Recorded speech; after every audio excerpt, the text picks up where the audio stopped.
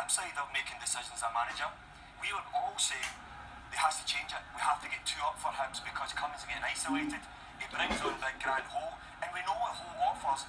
He'll occupy the two centre backs, so then that'll start dragging in right backs, left backs, and it'll give the wide players the, the option to get into wide areas. But when you go in there, don't disappoint if you just brought on a big uh, striker like that, Jimmy. That's the service you want, isn't it? Yeah, certainly. Certainly, and it's, it's, it's great Hibs. You know, they've come in, they've come in here. You know, I can see them coming back from half time. I can see them coming in.